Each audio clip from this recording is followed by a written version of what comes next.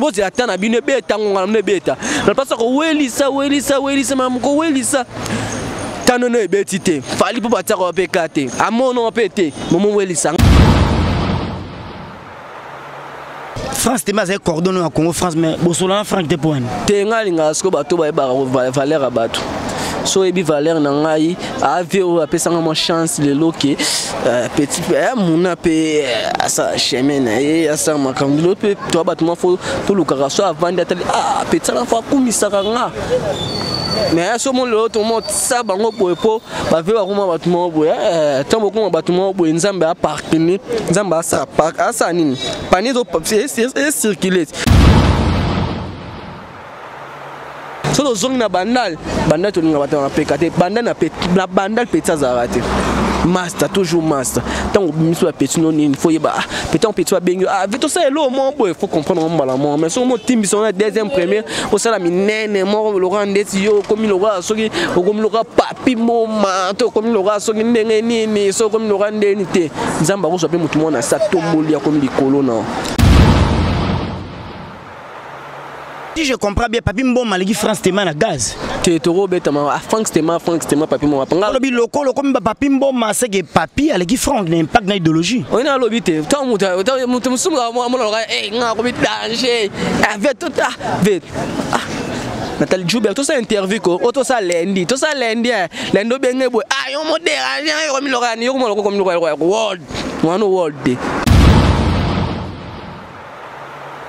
boni sango ya Cynthia Kapashi nga na yebi nde pa Cynthia Kapashi la reine ndika boni sango ya Cynthia eh, ya hero hero bando tuna mambo afiana e eh, hero te ya esimba te mobali abotisi yo bana ebele nga kuna papa bana na nga tokabwana eboka inkoni moka oyo tokutana na biso na bar eske ngai mpenza nde nabe nakobanga moto nakobanga moto te donc ya ke nga tala video wana bien est ce que oyoka ata monoko nange efongoli efinga mbesi mpo nga jamais nako telema liboso ata nando finga bato mbesi lobo jamais no 15 jours ata naa na kwiti esimba te bato balinga nga bamona nga na réflexion tv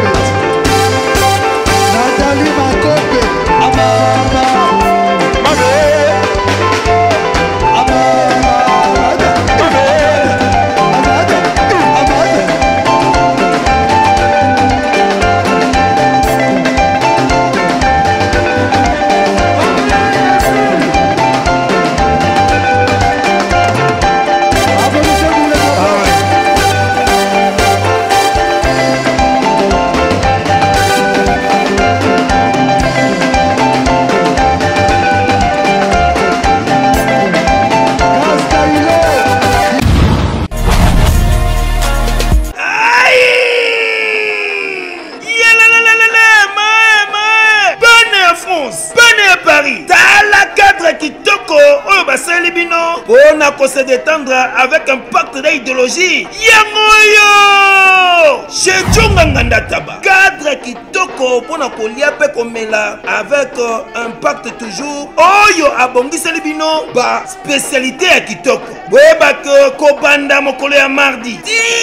jeudi jejonga nganda taba bafongolaka partir ya 17h ti 23h awa spécialité ezali nde ntaba nde taba e olie ntaba ya moto na nkwanga ya mongwele pilipili ya kobweta suka na feeling chez jonga nganda taba awa mosala esalamaka kitoko tuna ngai nini chaque week-end babengi yango week-end live c'est-à-dire bachanteur oyo babanda kobetabeta baconcert awa mpo na kosepelisa bato lokola mokolo ya vendredi tozali na suzuki luzubu 4 x 4 grand chanteur de mon pays oyo akosepelisa bato na bakunga ya defwa te oza koyoka miziki oza kolia ntaba mpe oza komela mpe chaque samedi tozali na animateur ya monene ya mboka na biso congo cnn alligator bakiselaka ye calibre 12 ye nde asepelisaka bato awa avec un pac na idéologie mpe dimanche sombele suka bisanga avec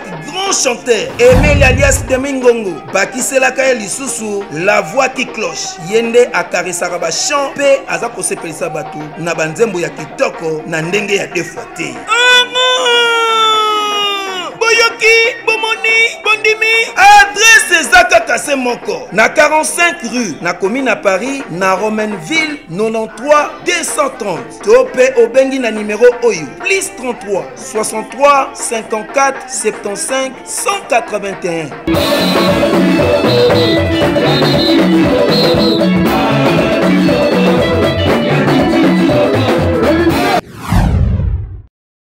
merci na bato nyonso bazwi libako ya kolanda biso na fimu na fimu news officiel de ken piana pito pala bifimu na fimu nde makambo site impact na idéologie Car Nenga Lobaka de Jubek frappe encore le micro l'image des frères de Jésus-Christ. Je suis la voix de celui qui crie dans les déserts. Balbi Kora Mikora Kosa. Oh papa Nabiso. Papa chéri JB Piana, l'artiste El Salvatore de la patrie, un beau gars enveloppé du soleil, souverain les grands leaders à l'Oba, Kora Mikora Kosa. Au monde, on nulle part. site moko te toujours na film na film news par rapport à image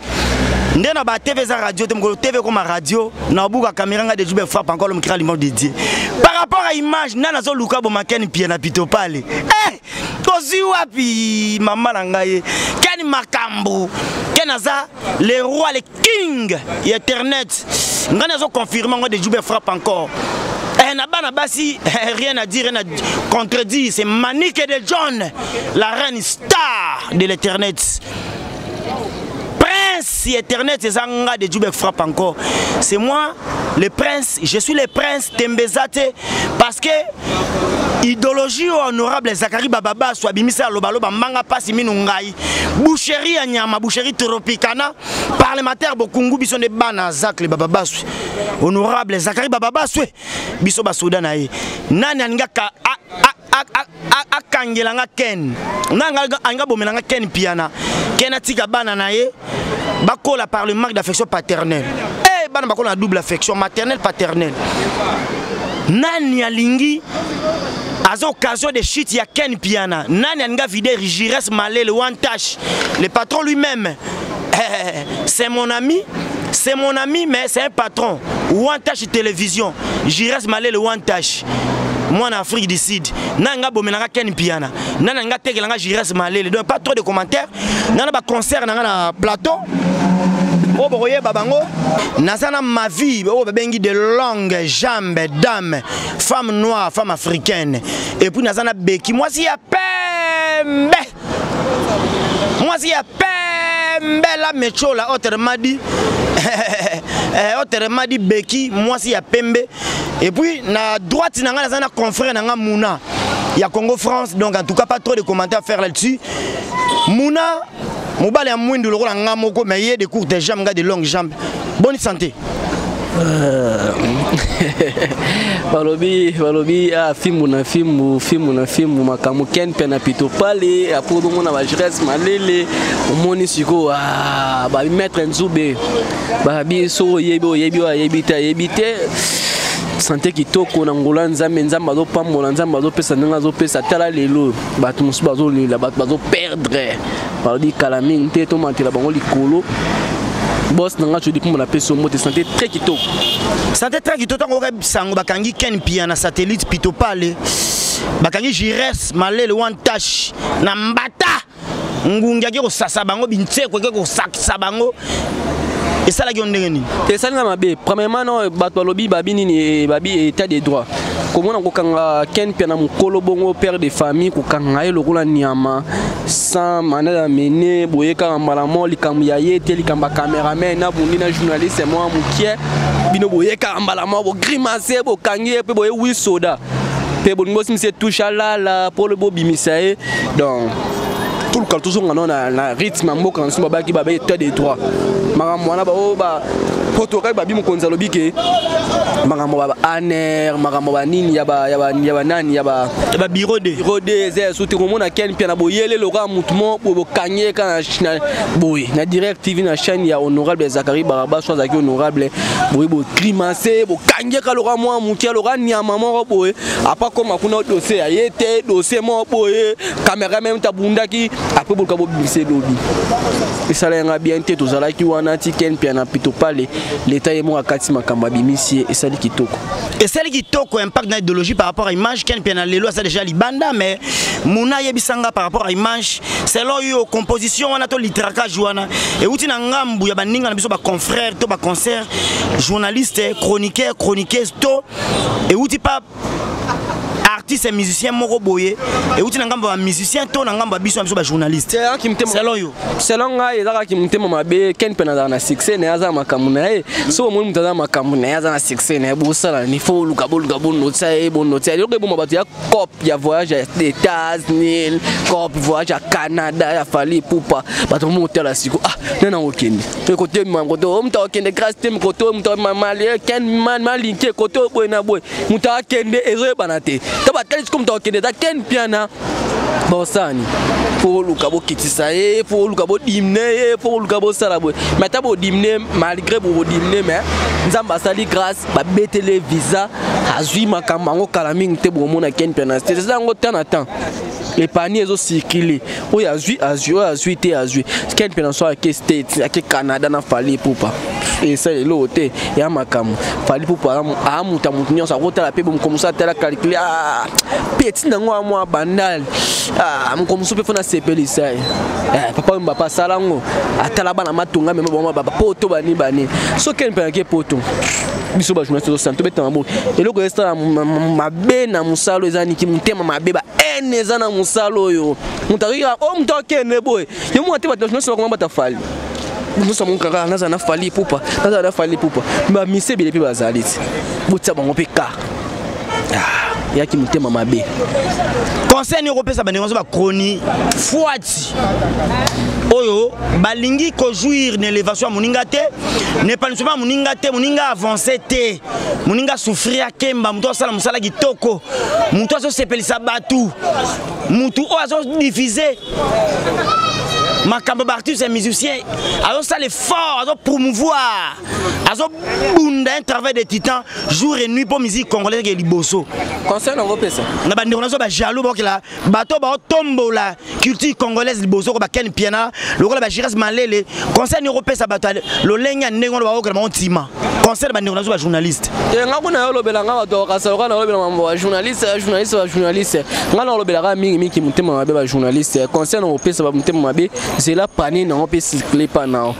eza mambo awelisa ko tokende pa boye okende pa boye okende ka boye soki esengi ekoma epano ekoma epano seri bapapa chéri baweranson banome bato na poto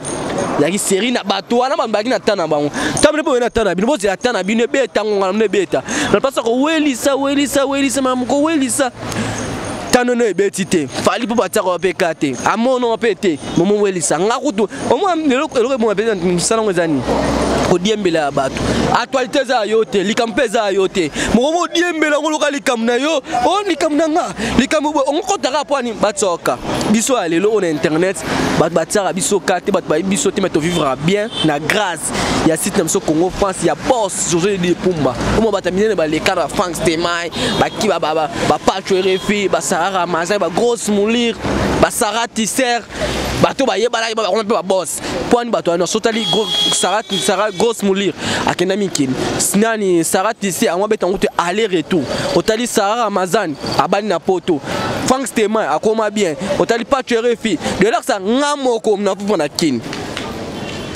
na vipe na vivaka très kitoko na pala bien douche na kati lelo mpe kare ekota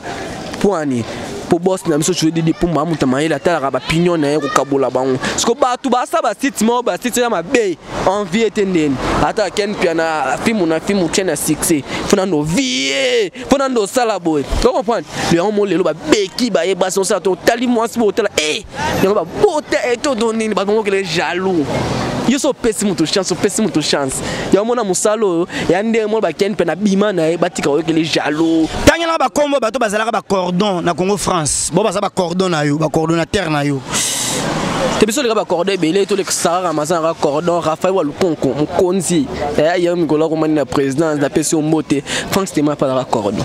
France te mais azali coordonne ya Congo France mais bosolana Franck te point te ngai alingaka sikoyo bato bayebaka valeur ya bato so oyebi valeur na ngai ave oyo apesanga mwa chance lelo ke euh, petit eh, muna mpe eh, asala chemin na ye asala makambo lelo mpe toa bato mwa fo tolukaka so avandi atali ah, petit ana fo akumisaka nga mais ya so mo lelo tomo tisa bango boye mpo bave bakoma bato moko boye eh, ntango bokoma bato moko boye nzambe apartene nzambe asala park asala nini pani ecircule toyeba bata mbongo bamovanse oyo bazalaka na mbongo asira mpako ya mobutu mais lobi bakweya yo confirme nga muna ke eh, frank steman ndeko na biso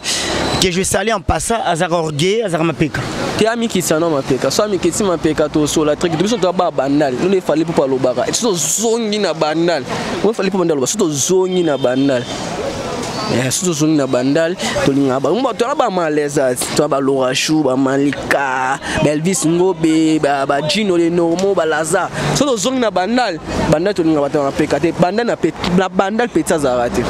master toujours master ntango obimisi bapeti no nini fo yeba petan petit babengi yo ah tosala eloko moko boye faut comprendre yango mbala moko mais soki motimbi songo na deuxième première osala minene moko lokola ndeti yo okomi lokola soki okomi lokola papi moma to okomi lokola soki ndenge nini soki okomi lokola ndeni te nzambe akozwa mpe motu moko na sa tomboli akomi likolo na sikosi je comprends bien papi mboma aleki france tema na gaz te toko betama ah, Frank Stema Frank Stema papi mo mapanga lobi loko loko mba papi mboma seke papi aleki Frank na impact na idéologie on a lobi te tant muta muta musumu ka mo loka eh nga ko bi danger avec ah, tout ah vite ah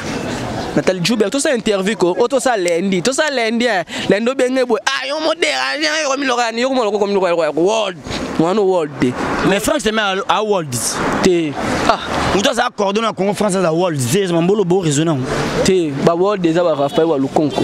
motu ezosala donc selo rafael eki frank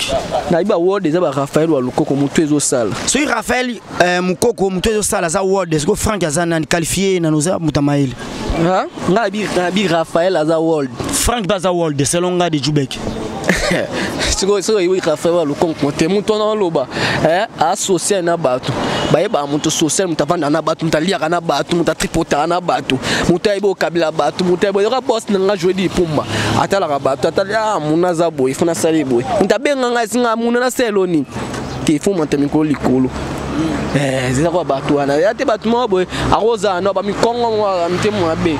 aza no me akanga motema eloko eloo moko boye eh, nzambe esika yeba bato bafatisa bango pembeni bato baya sikoyo nini okomprendre eh, na mokili fo yeba kofanda na bato fo yeba kozala na bato fo yeba kolia na bato fo yeba kopartage na bato okomprendre soki bopartage bato bolia bato oza motema ouvert na bato nzambe akopambola ya te oza motema ouvert na bato me se na yo okangela bato wana omoi ah, petit oyo abima te petit so obimisi petit na petit na avanda nsima wata araisonne ah, omona te pali mpo nde araisonne avi na biso kofolomide mpo ani abimisi na motema malamu ah, bavaler wana folukaka mpe mposa bavaler wana ntango yo te pesa benio tosala émission yongo osala okoa neti yo danger boye na boye noyamba bato mpe bato na oyamba la so te moninga mpe na okendanga bien ntango yo somi mpe motuka mpe betisa somi motuka omoninga mpe na matinanga likolo olombola sikoyo apetisa ngai na bimise mais koko aluka loba apetisa na bimise bosola ne boya bien esala kitoko mais oloba apetisa na bimise bosola te eloko moko te toyamba mpe ka bato yo ozoyamba so oyambi moto ngai mpe na mina koti esprit na yambi na oyamba ye so yo na frank stema na impact na idéologie ya niveau éternel na aleki moninga yo na frank selon yo mpo ngai naka mpena molangi ya pembe soki nga interne interne bana aleki ye na parlementaire interne interne aleki na indusa frank stemai na yo muna na gaz na impact na idoji na internet pardon pardon une minute oyo aloba yoka sikoyo baa mal alaise yoka gouvernement mal alaise ngai nayebani na ngai te yoka sikoyo yoka sikoyo ngai nayebani na ngai te mais na vivre bien okotuna ata mwana maboyaka na palais ngai na vivre ndeni pepele kitoko cordon professeur ngai na palais nyonso ezali ah. motuka eza provision ezali mbongo eza bana mpe baza mare paza frank stemai frank stemai na frank stemai na ndeko nazo mona na impact na idéologie na niveau internet ah, monde na aleki moninga selon yo ah, frank stemai frank stemai a confrère nanga mona mondonge masta nanga a confrère na yo a journaliste te yo a pire petit afali pupa mal à l'aise non stemai a grand frère muna masta me muna moto aza mame na ye muna asa mame na ya ndenge na ye estema asa mame na ya ndenge na ye donc congolais nyonso ayebi ke mondonge cordon didi kikumba bos na biso vraiment merci frank stemai mpe c'est bon na mame na ye na ndenge kibandal frank na muna na aleki na impact mpe oh, mwana bandal frank mpe mwana bandal donc moya aloba mabe mpo na bango eza te mwana bandal frank mpe mwana bandal ken pia na libanda lelo oza succès te ndeti ovivre te yebisa bango ke mondo anga viva bien eh. balo omona dollar eza awa eh, kosala baje te kani mpiya na lelo libanda motu na yo pito pale fimu na fimu news sentiment oya nini bango bazwi zero nyonso bokanisaki zero eh, na niveau kani mpiya na bino bokasi bokosala système bozwi wapi fali aza na succès to libome ebeta dodo zero Merci beaucoup Dodo Zero na pena bana basi ba belle chérie de très belles créatures qui rallient mange dédié babi eh vraiment na juba excuse bato yebi so loba te Congo France biso ya style mobo to tikola loba te mais mon soko ngo sa mam na yo sel mam na yo so ngo bungo bungi mam na yo biso ya lilima boss na so jodi di pumba coordonne biso Bookson Bukasa na ko bossa te partenaire biso fe na biso Mr Press na gaz na gaz Arlette Bonanzo malolo risa Congo lia ma même nini zema motema tous pour la pétrole biso bato apesa na conseil bango wana songo osala loko obunga totie ekar na biso okendaka bongo ndenge otya frank stema ekar te biso kaki mpaka kokolo so yo moto oza no minene na vie sola bato mo bakeni mpiana baa très simple ozwi ba jazz kavulu très simple ozwi ba rafael wa lukonko très simple ozwi babeki oka mwasi aza lox neyeme lox ekota ya silitier pacho refi mpe azaka trop simple mwana muteketa gentil gentil gentil gentil très simple asola bien okomprendre yaka basi oa basi babiki lors ekota nango sili te yaka basi mosusu oa lors eza yango ya 8 ans ekota sila bana 57 ans tembe o oh, wapi yo tembe ti o mwasi kuna yo tembe naosongela okala mingi te lelo sikoyo natali na ngambo ya basi parce que nana de très belle créature créa l'image de dieu mwasi ya mwindu na mwasi ya pembe nayebi te par rapport à image selo bino tobolanda biso à travers le monde mwasi ya pembe na ya mwindu na aleki eh, naza na beki awa eh, de balox eh, naza mpe na mavi de longue jambe homme bata ndako bekisenda eh, nani mwana libanda oh ma vie aza mwana libanda te na bi yesu ko ne mwana bata ndako baza de momi ma vie na beki nani siko mwana libanda na mwana ndako mwana libanda te nga beti mama mwana yesu ko mwana bata pale ko kasko beki siko beki siko naza boye bato bakomprenaka te a ah, mwa moke mokolo abuba ah, atonde ah, bato babobaka ya bato bayina nga eh, te nga mo nazwi charge yango botika na bino ye eh, atembe mwasi ya pembe beki vraiment par rapport à image ola basoloti solol on te soloti ne solol pas on te solol pas mais on te dégage mwasi ya pembe nayebi te na ndo mono pembeni ya sinti ya kapash ndeko nanga olobaka so obeti ka ndika na kobeto ndika me beki eloni esali ke namona osu peme ya sinti aka pashi te na namone peme ya la reine de ndika so abeti ndika azozala ndika ebaka ezalaki mpe na biso mwana nsemi esi babimisa ye esi esila mamba esila ndika ebunga to na mabushon bushon babeki me sinti aka pashi bebeta ndika ndika esi esila ndika mwana nse bato balinga yango esu te mi ndika ebomisa bato bato abima ya prison ndika esi esila kala tokoma epoque sikoyo oka eh iyo ndika esila kala mwana nse miye moko taye abiba ndika yango nyonso na reti na tiki na ngango boyo ya ndika ah. nakozongela yo beki boni sango ya sintia kapashi la reine de ndika bango beliare maka koleka ndika bango tembe nakozongela muna tout à l'heure boni sango ya sintia kapashi ngai nayebi yo nde pa sintia kapashi la reine de ndika boni sango ya sintia ya ero ero bando tuna mambo afiana e ero te ya esimba te esimba te ndenge moto bozalaka na ye moto asali yo moto abimisi yo na terrain mpo toyeba yo te ngai nabima kala o ngai nabima kala omoni kobimisa nga par rapport a quoi oh, na terrain mpo nayeba yo ngai na babeki de balox mwasi apeme ngai beo na nsima sintiaka pashi la reine de ndika nayeba yo na muna te nayeba yo na moto mosusu na bana mal à l'aise te na yeba yo eh, na site ya Cynthia Kapash ayondo ah, ebinga kuna mais ero te ero ya masolo makambo obeta masone te e ero te eweleli ni bokabwa weleli ero banda ofula bato ero esimba te na fula yo mpenso ofuli ye mabe nini e te na ntango te e ntango esimba te ero eh, te yaya eh. eloni esali bokabwana sintia mayebisa momonda te bolanda biso mokili elanda bacomprendre eloni esali ke bokabwana yo na njaka pashi eh, ya mobali ku bolingani mingi bokabone boka sinti eh, yaya donc esimba ye nango te esimbi te baloba na vie si ça tient ça tient si ça tient pas ça basse esimba te esimba te mobali aboti so bana ebele nga kuna papa bana nga tokabwana eboka inkoni moka oyo tokutana na biso na bar alobi eh, prostate eza maladi oyo eza na makambo ebele me na 2 minute oyo nakolobaka bapoint essentiel mm. tolobi prostate eh, ezali maladi oyo ezwaka bapapa balobaka ete prostate eutaka beaucoup plus mpo na bapapa oyo basalaka rapport sexuel mingi me eza bongo te prostate eza maladi oyo eza kozwa bato de 40 na komata oyo bakokoma na difficulté ya kosuba c'est-à-dire papa soki amoni déjà oza kosuba masuba eza kobima na vitesse te oza kosuba masuba eza kobima na de nzela oza kosuba posa ya kosuba eza lisusu te eh, eza osila te me masuba mpe ezobima te yebake no papa ozo develope eza prostate prostate wana ememaka mpe faiblesse sexuelle donc mpo na nini ekomi na inflammation na niveau ya prostatite donc ekomi na maladie prostatite na niveau ya prostate wana oyebake no oza deja na kati ya prostate wana prostate wana traitement na yango ezala kaka opération opération mais na cabinet docteur hakim toza na traitement sans opération ya prostate quel que soit oza kosuba masuba eza kokende su na vitesse te ata 1 mètre ekomaka lisusu te oza kosuba mposa ya kosuba ezosila te yeba yaka na lombangu na cabinet docteur hakim jebi josé ou bien obengi biso na plus 243 84 06 55 760 ou bien osabonne directement na na, euh, na youtube ya docteur akim officiel wana okozwa traitement ya prostate donc tolobi prostate wana ememaka faiblesse sexuelle prostate wana ebomaka prostate wana e ezali maladie moko mabe oyo eza kobika na produit naturel na cabinet docteur akim shebi josé Yeah, yeah. mais na comprendre te mbala mona monona bana mal à l'aise gouvernement bana mal à l'aise bana bandali ya tongo basoda makasi ya mobutu mokonzi fali ipupa la star congrès international reconnu mondialement et puis na muna na kati bozofinga sintiaka pashi c'était quoi au juste mais ezala ozo banga oui bozo chrétien ninga système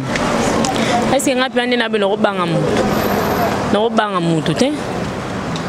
donc ya ke nga tala video wana bien est ce que oyoka ata monoko nange efongoli efinga embesi mpo nga jamais nako telema liboso ya nando finga bato embesi lobo jamais no 15 jours ata naa na kwiti esimba te ye nde atinda ye mwana mo boye abanda ofinga nga etout aloba ba n'importe quoi abenga kuto mwana na fingi asepeli abengi mwana na yebisi e yo pene wandika wa mbila eh. yo mpe ayo mpe na don yo nde makambo e après ntango sikoyo esali bana mai mpe batali babi te o biso toya bamala les ndenge nini yo ofingela biso beki botina mwa mwana mwa ya moke bofinga beki mai beki orépondre te eh, moni bekeo mpo omona vie motu soko mochange ma bamilie boma bafréquentation maka mosusu mpe fo tochangeaka don namoni sikoyo ke ngai ne tobanda kosala na baéchange oyo atindi ntango ye so azalaki na besoin ya ngai ngai ye moko affronte nga tuva ntango atindi ye mwana na mokie wana dolakisi ke mpa na ngai opusana te mpo tobanda kosala ne baéchange wana tu vois donc mpo na mwa signe mwa ya reconnaissance ya mwa mokie nde esalaki ngai mona telema te mpo na répondre ye yango bana ma alaise basalaki babi te tika biso mo to répondre ye me bafingaki ye pete balobaki kati ebe oyo balobaki ezali mamba lokuta la vérité blesse bien que c'est la vérité mais ça blesse quand même l'hypocrisie aussi de soi naozongela omuna tu vois l'hypocrisie aussi ça de soi au fait tu vois so moto a hypocrite wana moto moko baa hypocrite ntango yo découvrir ke eh, moto ana hypocrite omote nde esa mpasi vraimen ku vérité moko oyebi ke ya vérité ke moto moko baa na ya hypocrite ça de soi esala pasi eh? ah. baraison nini esali baraison eza fondamentale oyo esaki bokabwa na sintia kapashiyango ye soki aboni ovanda na bato ezalaka avandi na motu mwa mosu mwa moninga ne mwasi wande omaltraite na façon moko boye neti yo ngai na danger nape kokabelo na ngai nakabelo boye nasala no boye danso ya kabelelo fa beta fasala boye fasala yesu kabono bato ya bongo ah, danso aza mokala moto bakodimine yo yebi te yaka bongo te kosala moto yesu kondo ta sere amokala ken amokala ken naza chef ya film après na film na film bu na film na na film na film boyoka na expliquer bino ah. na film na film bu news après ken peneranga de jour be frappe encore na one touch télévision après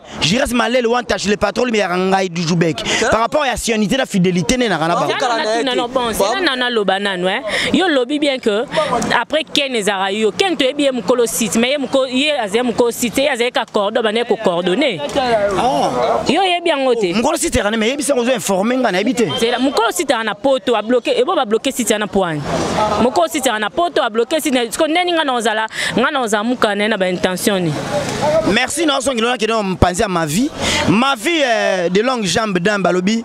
eh, alingama lokola litungu la cameroun babi pays bondire kobo alati barevolver chaise électrique ya sentiment président fali mpo bayemba cuba madina viene ekoma kamundele gouvernement mal à l'aise on est ensemble ma vie par rapport à image ma vie ma vie ntango oyokaki patron na yo gires malele one tache bakangi ye na mbata esalaki yo ndenge nini Non, premièrement, merci de Djoubek. Hein. Ton ayoka vraiment bakangi gérance malele nazalaki wana vraiment natinde bazalaki bakangaki ye natinde nga azalaki kuna na mbata esali nga vraiment passe surtout likambo oyo ayebi te tu vois na likambo oyebi motu na makolo te likambo oyo econcerne te oyo etali ye te mbe ntongo likambo moto etali motu te bozwa motu lokola ndiye moyibi moko bo ndiye criminel mbo baza criminel te mpo gérance akozala criminel te aza responsable aza batravailleur afutaka donc afutelaka palin aza mpe na famille batalelaka ye donc euh, esala yanga vraiment bien te baye dieu bon la police na biso mpe l'état congolais oyo esali mosala nango infraction individuelle bazali kakolo likambo do bafuti na bango bamonda l'état kande ezalaka biki na bango ekontaka bafuti batiki bango non normalement donc normal to basambi vraiment bacomprendre eloko te bayebi ke non baza bainnocent ezalaki likambo na bango te ezali kama garçon mpe ya bandali kaka soit disant azalaka na bango etu etu etu mwana quartier mpe mwana aveni etanki azalaka na bango na tosimba bango mpo so basimbi bango yo omonana mais teme ezalaki likambo econcerne bango te leta azalaka zoba te bato mosusu bayeba te ntongo okima okefundi ya moto na leta fo oyebaka donc fo ozalaka na bapreuve vraiment mpo leta aza zoba te a de jubek leta aza zoba te leta congolaise na biso nde président na biso alobaki mosala nde mosala donc mosala esalami kitoko abron mangoya depuis paris ozo comprendre mosala esalami kitoko kitoko donc esali yanga vraiment pasi mais ça va aller lelo tomonaki beki na biso ndeko na biso ya pembe mwasi ya pembe azalaki pembeni ya sinchaka pashi ndeko na biso lare de ndika me lelo yakomi koboya yo mokotelemela ye parceke yo mpe ma vie yo mpe un jour okotemela giras malele boye te nde beki aotemela sinchaka pashi aotelemela ye te aoloba likambo eza normal omoni na vie eh, bato boconfondre eloo mosusu to bokotambola na motu totambola so tomoni biso na motu totambola c'est sûr tokomi bien totambola nzela moko so esimbi te ata mpe na keni so esimbi toza na keni te ozala te vraiment mpo bika esimbi te mais so esimbi ozala otelema ete oloba par rapport ya vérité babe surtout mpe abeki hypocrite eza te donc aza hypocrisie te donc ya likambo na mesa likambo na mesa likambo ya lokuta likambo ya lokuta ngai na gerance na bos na ngai gerance malele so esimbi te totambola nzela moko te se na ve na watage mpo ezosimba donc so ezosimba te loba na ota président ngai fali so esimbi te me balobelaka yango te elobaka ekofi olomide pardon donc so esimbi tokolobela so esimbi te donc tolobela te de jubek eza normal eza logique elobama ekomama oyo oh, tolingo tosala basembla mpo ya nini vraiment sikoyo komona patron na yo wantashi gires malele mwana afrique du sud ya solosolo le patron lui-même honorable gires malele le patron lui-même na ken pia na satellite pitopale officiel lelo ero tonga to se retrouve bango baza na parquet après le bakie makala mais ntango sikoyo omoni ke bake parke te bake makala te bapatron basali kaka jour moko na kasho babimi sentiment nini esali yo epuis eloko nini okoloba na bato bakomposaki eloko wana ke bakanga gires na ken nanga de jubek banga bakanga mpe ngai nakimaki nde mpo banga balandaki mpe ngai na babiro de lelo komona bapatron no libanda soko baennemi wana bafiti wana balingi bakotya bango makala basiti ya biso ekufa wantage ekufa filme na filme ekufa réponse nini okopesa bango to parole nini okosadresse na bango bato balingaki kino filme na fimbo edaye wantage télévision edaye s'adresser na bango na peso moi quelques minutes par rapport à image ngai vraiment elo ndenge nayebisa bango kaka mpo esimbi nango te oyo basalaki bakaliki na bango eza yango zero kaliki na bango na mai donc esimbi nango te balingi mpe bake mpe parke te mpo na likambo na sens te bafingi motu te bakretye motu te basali mpe moto eloko te ezala oyo moto aza nsima na bango moto aza nsima moto eloko azalaka te soki moto ayaki nsima bango tonga toyeba kuna tomoni ni plaignant donc plaignant azalaki te donc eh, basali mpe eloko te balingaki mpe keparke te minene kutu keni mpe na bunda ya soldat makasi wana soldat mpilko oyo mabangaka ata sumbi likemba lie yango nde keni piana donc ngama do bana poto olobaki ebele bokomeli komeli nga do bozala mino na lese bopema to bomela mama ye bopema eloko eza soyi eloko eza te eloko eza te eloko vraimen eza te mpo basali mpe eloko te bafingi motu te eza mpe likambo na bango te enfait donc tobetabeta masolo te de dubek donc topesa yango mplere te likambo na bango te basali mpe eloko te donc omona bango babimisa ebomboli bozwaka motu bofaire chie motu bofaire chie motu bokembisa motu si tine koti eloko te biso tofuta transport ne tolia ndeni bientôt la fin du mois yango pourquoi e eh, merci mingi eh, ma vie babi de longue jambe charge eza mwasi nde mobali mwasi nzambe mwa bambote na baoyo ya yo mpo tokomi na suka émission na biso ok napesaka bambote na baoyo yangaka nde na misala ngaka kopesa bambote le principal te chic bro depuis paris donc mwana poto ya solo niclete kosi ma tante chérie mwasa molai lokwa nga bien chargé mm, na light pamani mwasa kuse babi mama ya bato mwasa libala ah, donc de respect yans lokwa armel h4 de prix paris de gros bisous bye ok merci wana ezalaki bongo ma vie babi de longue jambe dame, femme noire, femme africaine, beauté africaine par rapport à Image.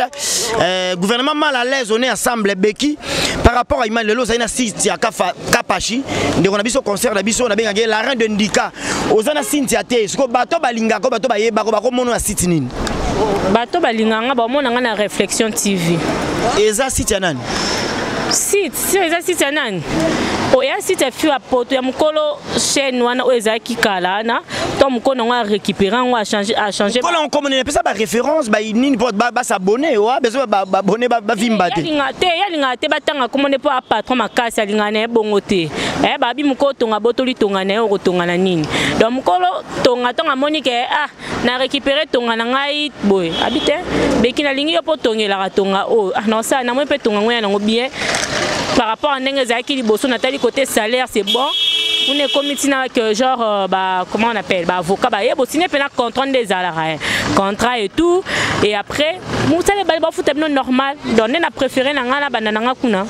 donc nazonga na ngai kuna place nazalaka liboso bachange yango nkombo bachange bamato donc entreprise echange kua ezongeli mokolo na yango bon c'est ça baomona ngai na réflexion tv bosabone kaka baoyo bolingaka na bino bolanda na bino te nde boyesa bino bose desabone so bosani te ezali nango ya ye te mokolo eloko azwi na ye eloko na ye potaka bino mo boyebi kaka te eh, baimpolitesse moko kaka nde ekotaki wana eh, bon moto aretire na ye eloko na ye pas de polémie bango mpe bakofinga ngai esa nango mpe ngai elo te mpo nayaka nango monene kaka na bainsulte na bino donc c'est ça comment na vieno ken mpe na pito pale na gires malele wantash bakangaki bango na mbata suwa bato ezalaki bakende parke parke makala me bavie na yo babimi esali yo ndenge nini bon tu vois ngai esali ngai bien au fait tu vois eloko kaka na olobelaki comportement nono ewuta wapi ya que ata peu importe ata so afingaki ata so asala ye mabe ata so asala ye bo nango afingaka te to nango asala mabe te boyesanga ata balider lider ni atinda moto afinga te balider tu batinda bato bafinga baoyo oh, nyonso toyebi ke ba balider batinda bato bafinga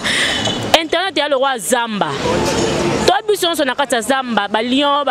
batigre bane tobunda biso na biso eza te ke tobundi tofingani esukaka na kati ya zamba ekoma ntina la polise ndenge nini mpo yo mpo ofingaka so yo mpo ofingi omoni ke moto wana alekeli oyo na kofinga eleki bobunda kasi ti mpo bobandaki bongo bokotisa leta na ndenge nini donc ya sale comportement totika bacomportement wana mpo biso na tofinganaka tokritika polémique ezangana nango mpe te ata yo ofingi imbécile te mais lilobaka oyo olobi faso oyo olobeli yango deya epesi deya polémique yo mpe leka na tv simba mikro nde mpe asimba ya mikro afingi nyonso yaka mpo nani na canada mpo nini toviva lokola basenzi boye canada so oza mbongo na yo oke na ambassade osali bademarshe no bapesi yo visa bato nyonso bakenda bapoto fali nde moto atinda bango to nde nde atinda bango so motu fali amoni ke atindi ye na poto c'est pas un problème botika motu akende bino mpe mosusu chance na bino kosourire tu vois c'est un très sale comportement to change toa lokola basenzi lokola bapauvre vraiment fali ata so amoni bacomportement basiekaka na oye moko tu vois c'est un peu ça totika en tout cas merci bambota balandi biso Bon, je salue, hein, na salue notre patronne nanga depuis Allemagne, na peso bambo tebele. Les cordons on dit lombi, babi babizwe belé belé, babi moko tonga botoli tonga no tonga na nini. Donc beki senda mwana muluba journaliste son maquillage toujours belle. Donc epesa na ozu ate. Donc euh, la suite qui n'a rawa. Merci Becky d'être passé, merci beaucoup vraiment. Prochainement au benga sous to solo là. To mettre ma solo yona ma vie, ma vie na na droite, yona gauche, benato panza teke par rapport à image muna. tolobi daya presque tout mwa bambote kaka to kabwa bambote kaka bambote kaka tala kaka darcel napesi yo mbote napesi